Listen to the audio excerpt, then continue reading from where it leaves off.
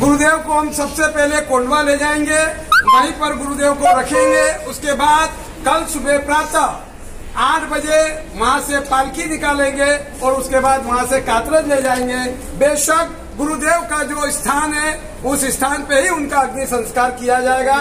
Trust मंडल सावधान हो जाए, गुरुदेव का ऐसे स्थान पे अपने को अग्नि संस्कार करना है कि वहाँ पर हम उनका गुरु मंदिर बनाएँगे। आज सुबह से सुबह से गुरुदेव ने खुद ने कह दिया था कि मैं चंद घंटों का मेहमान हूँ मुझे अच्छी आराधना कराओ क्योंकि बहुत कोशिश की हमारे देवीचंद भाई ने और पूरी टीम ने। जितनी उनकी अनुमोदना करे उतनी कम है। लेकिन गुरुदेव ने कह दिया था कि बस आप सब अच्छी आराधना करना और मेरे सभी गुरुदेवों को मेरा मथेरंदामी और सभी भक्तों को सभी को मेरा मिच्छानुक्रम और आशीर्वाद गुरुदेव ने कहा है। और कहा है कि कोई भी मेरे पीछे रोना मत, मेरे पीछे आराधना करना, मुझे नौकार बहुत प्यारा है।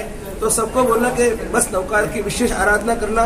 और चतुर्विद संघ की हाजिरी में आईसीयू में अलाउड नहीं है, फिर भी देवीचंद जी ने हम सबको अंदर जाने दिया। साधु साधु जी भगवंतों को श्रावक श्राविका को, और चतुर्विद संघ की हाजिरी में नौकार की धून कंटिन्यूस और गुरुदेव समाधि पूर्वक कार्यधर्म हुआ है। एकदम कोई हाय हो नहीं। वेंटिलेटर लगाने का बोला, गुजरे का कि मुझे नहीं लगाना है, कि बस अब मेरा समय हो चुका है, मुझे शांति से, मुझे अब महाविद्य क्षेत्र में जाने दो।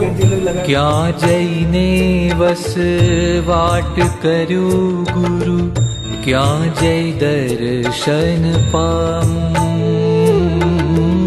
क्या गो तू सरनामू क्या जैने बस वाट करू गुरु? क्या जय दर्शन पामू? क्या गो तू सरनाम? गुरु